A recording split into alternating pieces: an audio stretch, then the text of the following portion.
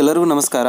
ಇವತ್ತಿನ ವಿಡಿಯೋದಲ್ಲಿ ಪೊಲೀಸ್ ಆಕಾಂಕ್ಷಿಗಳಿಗೆ ಒಂದು ಬ್ಯಾಡ್ ನ್ಯೂಸ್ ಅಂತಲೇ ಹೇಳ್ಬೋದು ಗೈಸ್ ಬೇಸಿಕಲಿ ಅರಗ ಜ್ಞಾನೇಂದ್ರ ಅವರು ಹೇಳಿಕೆ ಕೊಟ್ಟಿದ್ದಾರೆ, ಪೊಲೀಸ್ ಆಕಾಂಕ್ಷಿಗಳಿಗೆ, ಪೊಲೀಸ್ ಕಾನ್ಸ್ಟೇಬಲ್ ಆಕಾಂಕ್ಷಿಗಳಿಗೆ ಒಂದು ವಯೋಮಿತಿಯನ್ನು ಹೆಚ್ಚಿಗೆ ಮಾಡೋಕ್ಕಾಗಲ್ಲ ಅಂತ. ಎಸ್ ಏನಕ್ಕಂದರೆ ಕರ್ನಾಟಕದಲ್ಲಿ ಪೊಲೀಸರು ನಲವತ್ತು ವಯಸ್ಸು ಆದಮೇಲೆ ಅವ್ರು ಯಾವುದೇ ಥರನಂಥ ಕೆಲಸ ಮಾಡೋಕ್ಕೆ ಫಿಟ್ ಉಳಿಯಲ್ಲ. ಅದಕ್ಕೆ ನಾವು ಜಸ್ಟ್ ಯಂಗ್ ಪೀಪಲ್ನ ಮಾತ್ರ ಪ್ರಿಫರ್ ಮಾಡ್ತೀವಿ ಅಂತ ಹೇಳಿದ್ದಾರೆ.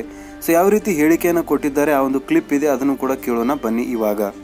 ತರ ಒಪ್ಲಿಲ್ಲ ಇದ್ರೆ ಆಗೋದಿಲ್ಲ. ಬಹಳ ಯಂಗ್ಸ್ಟರ್ಸ್ ಅನ್ನ ನಾವು ಪೊಲೀಸಿಗೆ ಮಿಲಿಟರಿಗೆ ತರಬೇಕು. ರೇಜ್ ರಿಲ್ಯಾಕ್ಸೇಷನ್ ಕೊಡಕ್ ಆಗಲ್ಲ ಅಂತ ಇದ್ದಾರೆ. ಸರ್ ಸ್ವಲ್ಪ ಔಟ್ ಸ್ಟೇಟ್ ಅಲ್ಲಿ ಸ್ವಲ್ಪ ಜಾಸ್ತಿ ಇದೆ ಸರ್ ನಿಮ್ಮಲ್ಲಿ ಮಾಡಿದ್ರೆ ಹೌದ್ರಿ ಅವರೆಲ್ಲ ಮುದುಕರನ್ನ ಅಪಾಯಿಂಟ್ ಮಾಡ್ಕೊಂತಾರೆ. ನೀವು ನಲ್ವತ್ತ ನಲ್ವತ್ತು ವರ್ಷದ ಮೇಲೆ ಯಾರು ಕೆಲಸನೇ ಮಾಡಲ್ಲ ನಮ್ಮ ಪೊಲೀಸರು ಹೌದು sir but okay next year ನಿಮ್ಗೆ ಇಪ್ಪತ್ತೈದು ನಲ್ವತ್ತು ವರ್ಷದ ಒಳಗಡೆ ಕೆಲಸ ಮಾಡ್ತಾರೆ.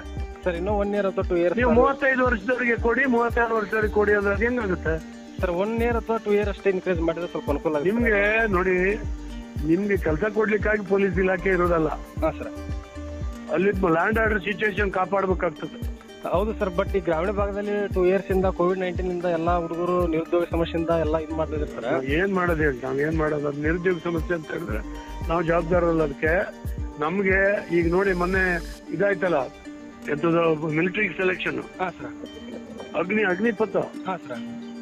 ಏನ್ ಹೇಳಿದ್ರು ಸರ್ಕಾರ ಬಿಡ್ಲಿಲ್ಲ ಕೇಂದ್ರ ಸರ್ಕಾರ. ಮಿಲಿಟರಿ ವಯಸ್ಸು ಈಗ ಮೂವತ್ತೆರಡು ವರ್ಷ ಇದೆ ಅವರೇಜ್ ಏಜ್ ಅದ್ರ ಇಪ್ಪತ್ತೈದಕ್ಕೆ ಇಳಿಸ್ಬೇಕು ಅಂತ ಇದ್ದಾರೆ ಅವರು. ಹೌದು ಸರ್ ಆ ಕಾರಣಕ್ಕಾಗಿ ಮಾಡ್ತಾ ಇದ್ದಾರೆ. ಮಿಲಿಟರಿ ಮತ್ತು ಪೊಲೀಸ್ನಲ್ಲಿ ನೀವು ಆ ರೀತಿ ಕೇಳಕ್ಕೆ ಆಗಲ್ಲ.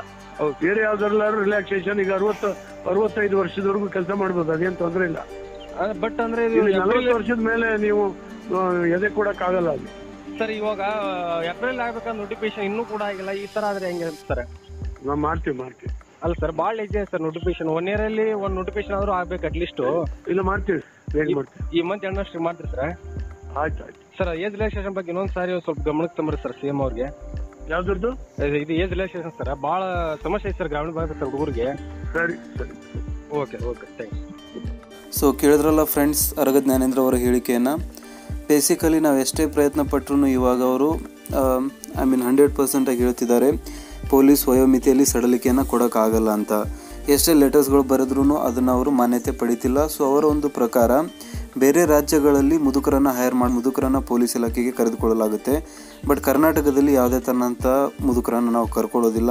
ನಲವತ್ತು ವಯಸ್ಸು ಮುಗಿದ ಮೇಲೆ ಯಾವುದೇ ತನ್ನಂಥ ಪೊಲೀಸರು ಕೆಲಸ ಮಾಡಲ್ಲ. ಸೊ ಅದಕ್ಕೆ ಜಸ್ಟ್ ಎಂಗೇಜಲ್ಲಿರುವಂಥವ್ರನ್ನ ಮಾತ್ರ ನಾವು ರಿಕ್ರೂಟ್ ಮಾಡ್ತೀವಿ ಅಂತ ಅವರು ಹೇಳ್ತಿದ್ದಾರೆ. ಸೊ ಇದರಲ್ಲಿ ಎಷ್ಟು ಸತ್ಯ ಇದೆ ಅಂತ ನೋಡಿ. ಏನಕ್ಕಂದರೆ ರಾಜಕಾರಣಿಗಳು ಅವರು ಸಾ ಸಲ್ಲಿಸ್ತಾನೆ ಇರ್ತಾರೆ ಬಟ್ ನಮಗೆ ಮಾತ್ರ ನಲವತ್ತು ವರ್ಷ ಅಥವಾ ಮೂವತ್ತು ವರ್ಷ, ಇನ್ನು ಇಪ್ಪತ್ತೇಳು ವರ್ಷ ಮಾತ್ರ ನಮಗೆ ವಯೋಮಿತಿಯನ್ನು ನೀಡಲಾಗುತ್ತೆ. ಸೊ ಇವರಿಗೂ ಕೂಡ ಒಂದು ವಯೋಮಿತಿ ನೀಡಬೇಕು. ಇಷ್ಟಾದ ಮೇಲೆ ನೀವು ಅಯೋಗ್ಯರಾಗ್ತೀರಾ ಅದಕ್ಕೆ ನೀವು ಕೂಡ ಕೆಲಸ ಮಾಡಬಾರ್ದು ಅಂತ. ಇದ್ರ ಬಗ್ಗೆ ಅನಿಸುತ್ತೆ ಪ್ಲೀಸ್ ಕಮೆಂಟಲ್ಲಿ ತಿಳಿಸಿ.